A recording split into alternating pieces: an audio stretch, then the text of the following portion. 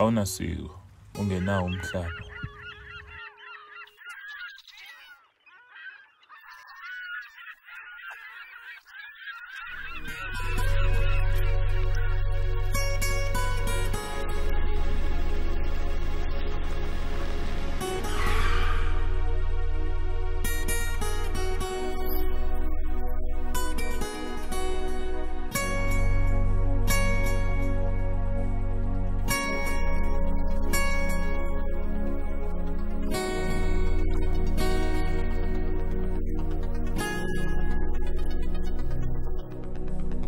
eyami indabuko ngasho ukuthi suka la zofuna eyamahlubi ngokuphelele